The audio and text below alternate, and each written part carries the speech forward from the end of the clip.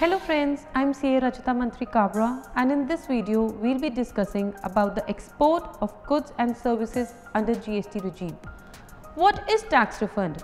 In general sense, tax refund is the difference between taxes paid and taxes owed to the government. However, there are few situations for refund under GST. Let's begin with the situation number 1 where excess payment of tax had been paid due to any mistake and inadvertence. Situation number 2 tax paid on interstate supply as intrastate supply or vice versa. For example, ABC company having its registered office at Delhi has supplies good to XYZ company registered in Uttar Pradesh. ABC company has charged CGST plus SGST by mistake but it should have charged IGST. Now ABC company will have the liability to pay IGST and claim the refund of CGST and SGST from Delhi government. Situation number 3 tax refund for international tourist. It means that the tourist while leaving India can claim the refund of integrated tax paid by them on the purchase of goods made by them during their visit. Situation number 4 refund in case of a specialized agency of United Nations organization or embassy. Supply made to United Nations bodies, embassies, etc. will be taxed which later on can be claimed as refund by them. However, application should be made within 6 months from the last date of the quarter in which goods and services were received. Refund of unutilized input tax credit. The unutilized input tax credit arises in two situations. First, when the rate of the tax on input is higher than the rate of tax on output supplies that is inverted duty structure excluding nil rated or fully exempted supplies and second in case of zero rated supplies without payment of tax. In case of finalization of provisional assessment, next while filing for an appeal we need to pre-deposit some amount. If the order of the appellate authority is passed in favor of appellant, then the amount deposited by assessee for filing an appeal will be claimed as refund. Situation number 8. At the time of finalization of investigation, the liability to pay is less than the amount actually paid during the time of investigation, then refund of such, as, such excess amount can be filed. Now coming to the last situation which I am sure is the area of interest for all the viewers that is export of goods or services or supplies made to SEZ units or developers under the GST regime. Now to understand the process of export of goods and services under GST, we need to understand the concept of zero rated supply. What is zero rated supply? Zero rated supply means any of the following supplies of goods or services or both namely export of goods or services or both or export of goods or services or both to a special economic zone developer or a special economic zone unit. Further, export of goods means taking goods out of India to a place outside India and export of services means the supply of any service when the supplier of service is located in India, the recipient of service is located outside India, where the place of supply is outside India and the payment for such services has been received by the supplier in convertible foreign exchange.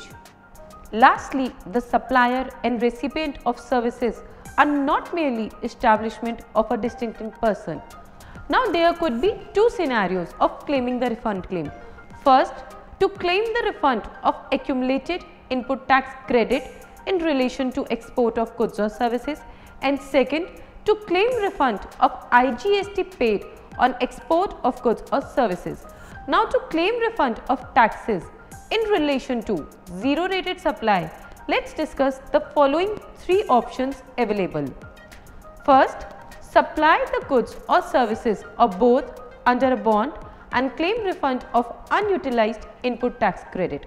Second, supply the goods or services or both under a letter of undertaking and claim refund of unutilized input tax credit. Third, supply goods or services or both on payment of IGST and claim refund of such tax paid on goods or services or both supplied. One thing which is very important is that any registered person availing the option of making supply of goods or services for export or zero rated supplies without payment of IGST is required to furnish prior to export bond or letter of undertaking in form GST RFD 11 to the jurisdictional commissioner. Let's begin with the option number 1 that is supply under bond. Now what is bond? Bond is an instrument by which the obligation to pay money is created expressly. It is also a legal instrument whereby a person undertake to do or not to do anything subject to condition stipulated in the agreement. The primary purpose of the bond is to secure the compliance with the rules and procedures laid down under GST laws. There is no need to issue separate bonds for each and every export otherwise it would make compliance burdensome. So, the bond would be like a running bond. Now, the exporter need to assess his estimated tax liability by himself and whatever the amount assessed by him shall be covered by bond. In case the bond amount is insufficient to cover the tax liability, then the exporter shall furnish a fresh bond to cover such tax liability.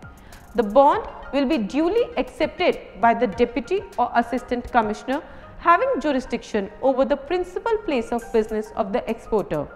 Along with the bond, a bank guarantee need to be submitted to the commissioner as a security under the bond. The proper officer may decide the amount of the bank guarantee. If he is satisfied with the track record of the exporter, then he can furnish bond even without bank guarantee. But if he is not, then the amount of bank guarantee should not exceed 15% of the bond amount.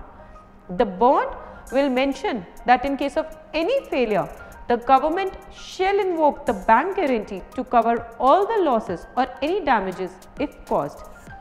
No tax shall be paid on the export of goods for services, let me tell you one more thing that export invoice will be slightly different from the regular invoice.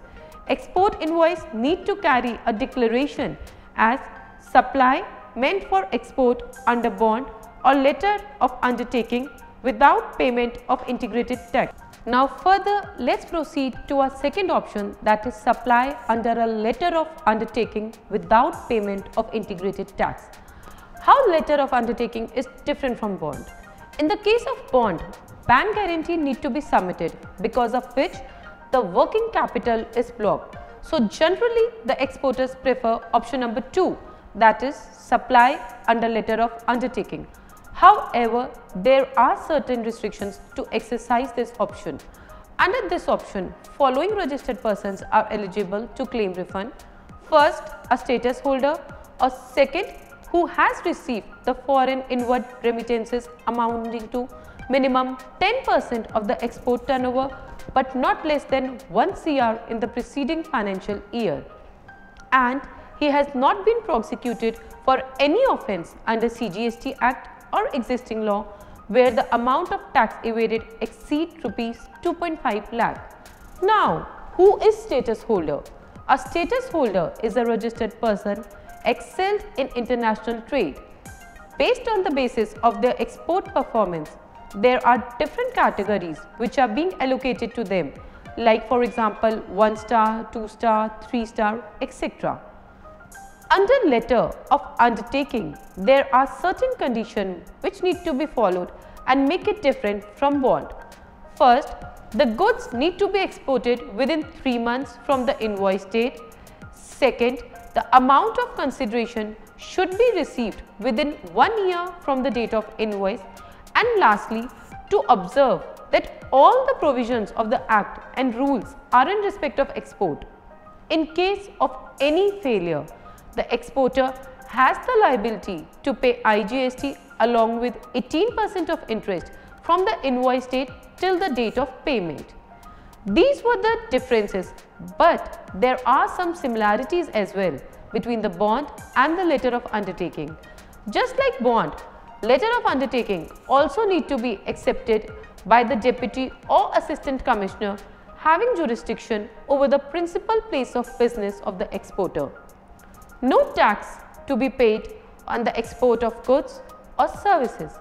However, on export invoice, we need to mention supply meant for export under bond or letter of undertaking without payment of integrated tax. Under letter of undertaking, there is no need of any bank guarantee. However, if the exporter fails to comply with the provision of letter of undertaking, then he need to furnish a bond. The letter of undertaking will be valid for 12 months and should be maintained in duplicate copy for each financial year. Now, there are some common points which squarely apply to export of goods or services under bond and letter of undertaking. Presently, the format of GST form RFD 11 is not available on the GST common portal. So, the form need to be downloaded from www.cbec.government.in and need to be manually submitted to the proper officer.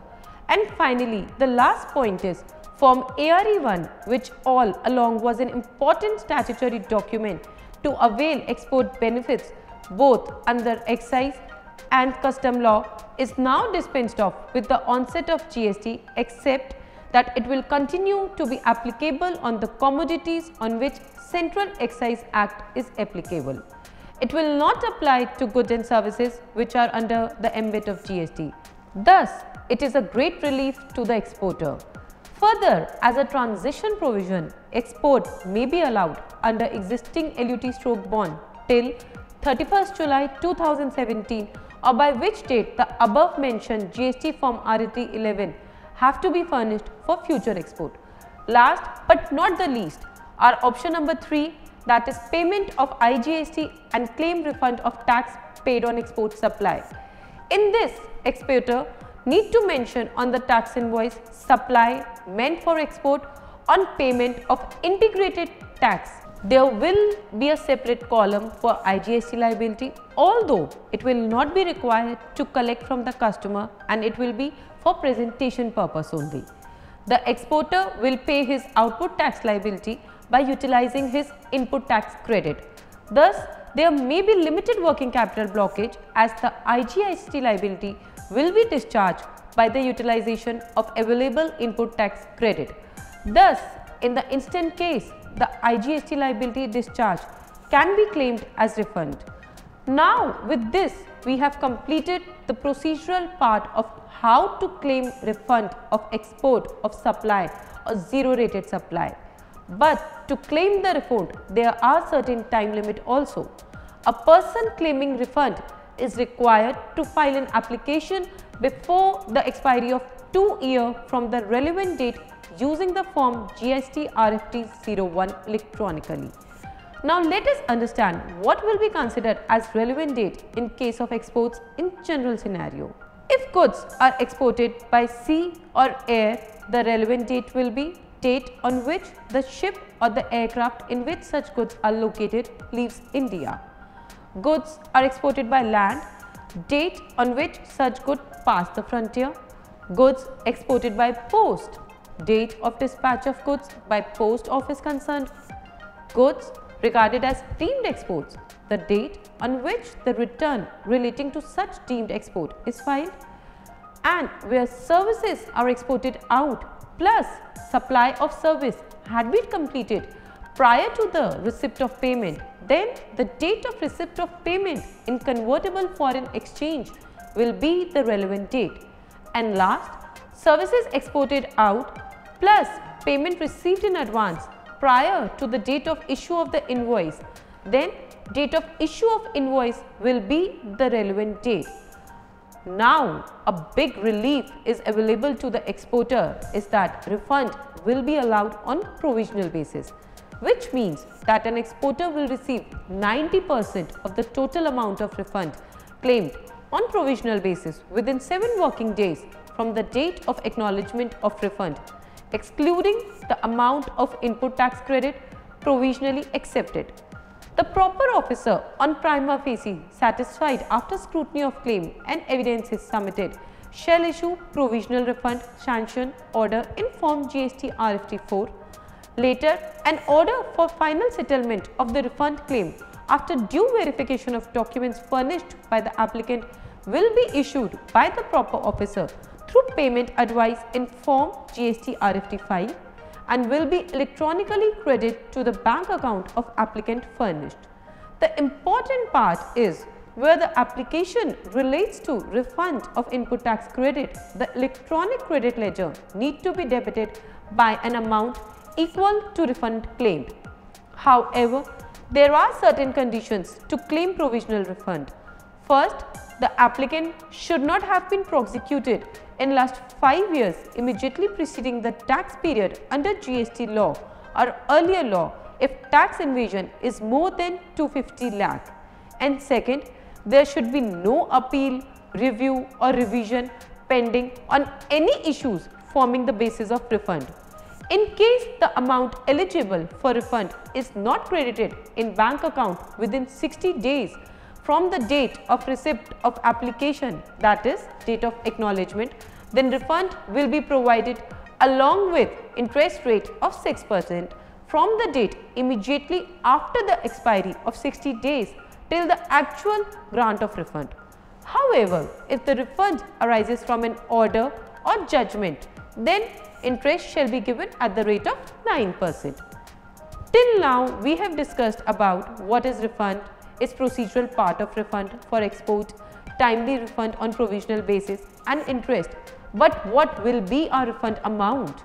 There is a formula to calculate refund amount. So, to calculate the refund amount, a formula has been governed by the government. Refund amount is equal to turnover of zero rated goods plus turnover of zero rated services into net ITC divided by adjusted total turnover. Refund amount means the maximum amount which can be claimed as refund.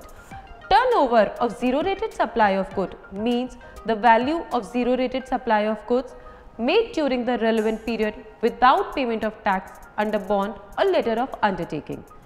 Turnover of zero rated supply of services means the value of zero rated supply of services made without payment of tax under bond or letter of undertaking calculated in the following manner. Namely turnover of zero rated supply of services is equal to payments received during the relevant period for zero rated supply of services plus zero rated supply of services whose supply has been completed for which payment had been received in advance in any period prior to the relevant period less advances received for zero rated supply of services for which the supply of service had not been completed during the relevant period. Adjusted total turnover means the value of turnover in a state or union territory as defined under subsection 112 of section 2 excluding the value of exempted supplies other than zero rated supplies during the relevant period. Now with this session, we would like to update you an important change with respect to importer exporter code under GST regime. As you may be aware that quoting of an importer exporter code is mandatory for undertaking any import and export activities. Further, importer exporter code is used as a measure of identification and communication in various dealing with the government. Now, in order to align the reporting requirements under GST DGFT, New Delhi has issued a trade notice on June 12, 2017 on importer exporter code related changes. It is expected that soon importer exporter code will be replaced by GSTN. Listed below are the key takeaway from the trade notice. Under GST, a 15-digit GSTN would be used for the purpose of credit flow of IGST on import of goods. Importer-exporter would need to declare GSTN at the time of import or export of goods. Henceforth, with implementation of GST, PAN of an entity will be used for the purpose of importer-exporter code. Going forward, importer-exporter code will be alphanumeric and will be same as PAN of an entity. For new applicants, Tinder GST their PAN will be authorized as IEC. For the existing IEC holders, necessary changes in the system are being carried out by DGFT so that their PAN becomes their IEC. IEC holders are required to code their PAN in all their future documentation with GST implementation. The legacy data which is based on IEC would be converted into PAN based in due course of time. Let us now discuss some frequently asked questions about export under GST which will help us to understand this topic more clearly. Let us now discuss some frequently asked questions about export under GST which will help us to understand this topic clearly. For merchant exporter, is there any change in the export procedure under the GST regime? The answer is the concept of merchant or manufacturer exporter would become irrelevant under the GST regime. The procedure in respect of the supplies made for export is same for both merchant broker and a manufacturer exporter. Now, will export of goods to Nepal and Bhutan treated as zero rated supplies and thereby qualify for all the benefits available to zero rated supplies under the GST regime? The answer is export of goods to Nepal or Bhutan fulfill the conditions of GST law regarding taking goods out of India. Hence, export of goods to Nepal and Bhutan will be treated as zero rated supplies and consequently will also qualify for all the benefits available to zero rated supplies under the GST regime.